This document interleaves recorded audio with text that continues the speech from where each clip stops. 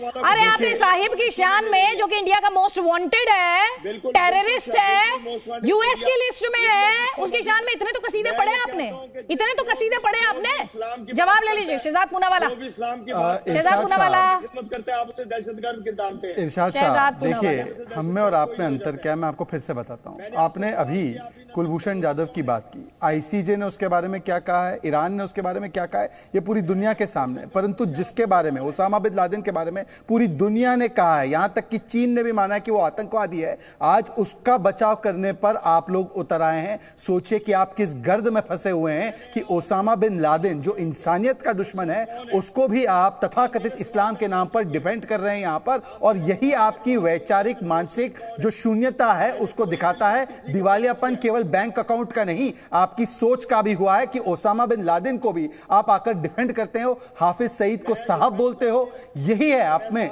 आप में और हम में अंतर। यही चीज़ है कि आपके लिए साहब होता है हाफिज सईद और ओसामा, हमारे लिए साहब होते हैं सुंदर पिचाई और सत्या नडेला। यही अंतर है सोच का। एक सोच है जो विभाजनकारी तोड़ने की और डिस्ट्रॉय करने की और एक सोच है जो कंस्ट्रक्टिव सोच है और इसीलिए दुनिया ने भी आपका बहिष्कार कर दिया है। आप जो मर्ज़ी प्रोपेगेंडा करते रहिए मुसलमानों के खिलाफ इससे कुछ नहीं होने वाला है।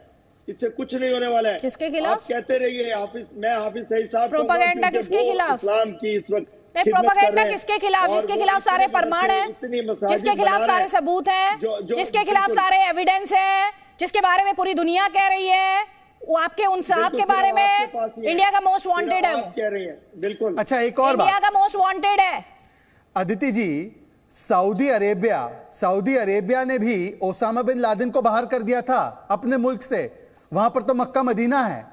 अब उससे बड़ा कोई मुस्लिम देश हो सकता है आपकी नज़रों में जिस सऊदी अरेबिया ने डिसोन कर दिया ओसामा बिन लादेन को उसको पाकिस्तान कहता है कि ये शांति का मसीहा है और पीटीआई की जो नेता है वो कहते हैं अगर पाकिस्तान के लिए ओसामा बिन लादेन हीरो है और अमेरिका विलन है तो अमेरिका के डॉलर पर पलते क्यों हो? आज पीटीआई के नेता को घोषित करना चाहिए कि पाकिस्तान एक भी डॉलर अमेरिका का नहीं लेगा। अमेरिका का प्रोपोगंडा ले लीजिए जवाब। जवाब ले लीजिए उजमा कारदार देखिए बात सारी ये है कि आप अमेरिका को अपना लॉर्ड एंड मास्टर मानते होंगे लेकिन हम तो नहीं मानते हैं ना पहले तो अमेरिका हाँ, तो चाइना को मानते हैं। सबसे पहले सबसे पहले जो सबसे पहले जो एटम बम फेंका गया था हिरोशिमा पे वो पाकिस्तानियों अरे मैडम उनके था। F-16 लेकर क्यों घूमते हो फिर आप? उनके वेपन्स लेकर, अमेरिका तो का चंदा लेकर, अमेरिका का पैसा लेकर क्यों आप लोग इतना इतराज वापस कर दीजिए। अमेरिका ने सीरिया में क्या किया वियतनाम में मार खा के जूते खा के वहाँ से वो निकले तो उन अमरीकनों को खुद भी बहुत तो आप अमेरिका के पैसे क्यों लेते हैं? आप अमेरिका के पैसे क्यों लेते हैं? फरिश्ते नहीं है हमें वो समझते हैं कि हम गैर जिम्मेदाराना हमारी हुकूमतें हैं लेकिन सबसे ज़्यादा जो दुनिया में एटम बम इस्तेमाल किया ही सिर्फ़ अमेरिका ने है और तो मैडम, आप अमेरिका के डॉलर लेना बंद कब कर रहे हो? बताइए। deterrent है तो उनका उनको अगर वो किसी को डिक्लेयर कर देते हैं कि ये दहशत गर्द है तो इसका मतलब ये नहीं है कि वो दहशतगर्दी है ना ना वो तो जब पाकिस्तान डिक्लेयर करे कि दें कि दहशतगर्द है तभी माने दुनिया की बस हमारे दहशतगर्द है।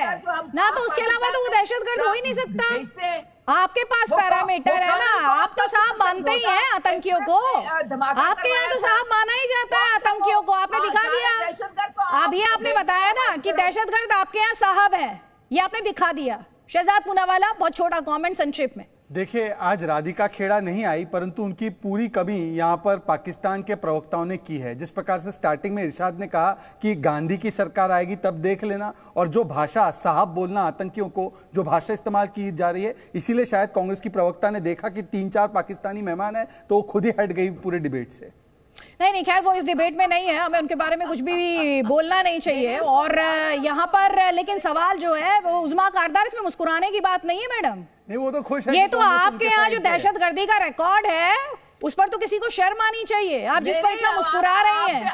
लेकिन आप फिर आप ये कहेंगे कि ये तो हमारे एसेट है। आप तो आतंकियों को एसेट बताती हैं। आपको उनमें हीरो दिखाई देता है। और किसी मुल्क मुल्क ने इधर साउथ एशिया में ले लिए हुए जो आप लोगों ने रिकॉर्ड और खास तौर पे अफ़गानिस्तान में जो आप कार्रवाइयाँ वहाँ से बैठ के यहाँ पे कार्रवाइयाँ करवा रहे हैं ना वो भी हमें सब पता है। हमारी जो इंटेलिजेंस एजेंसीज है ना 26 है और वो दुनिया की बेहतरीन इंटेलिजेंस एजेंसीज है। बिल्कुल वैसे ही जैसे आपकी फौज है जो लड़ाई में भारत से पिटी है। आपकी इंटेलिजेंस एजेंसी को पता था अबटाबाद में ओसामा बिन लादेन है।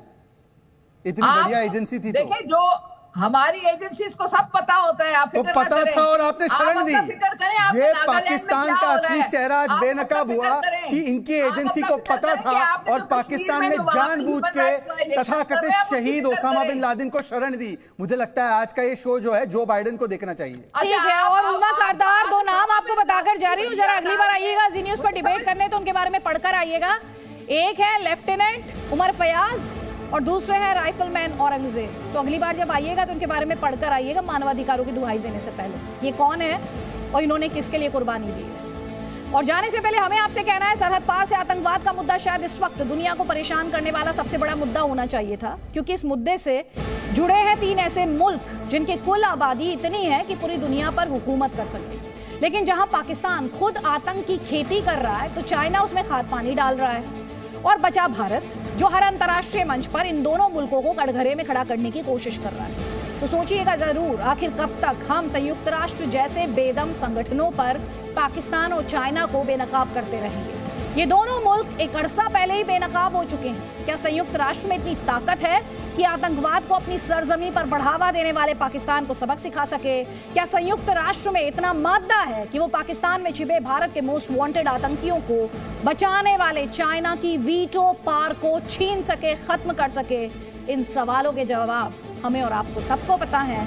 फिर आखिर हम क्यों और कब तक संयुक्त राष्ट्र जैसे संगठन से उम्मीद लगाए रहेंगे। तो सोचिएगा ज़रूर, अमेरिका ने चाइना को लेकर भारत का खुला समर्थन किया, लेकिन क्या वही अमेरिका आतंकवाद को लेकर खुलकर पाकिस्तान की पाबंदियों की वकालत करेगा? पाकिस्तान पर पाबंदियों की? अमेरिका का तो हथियारों का बाज़ार है और उसे वो बाज़ार चाहिए भी। भारत और पाकिस्तान दोनों में ही उसे बाज़ार नज़र आता है।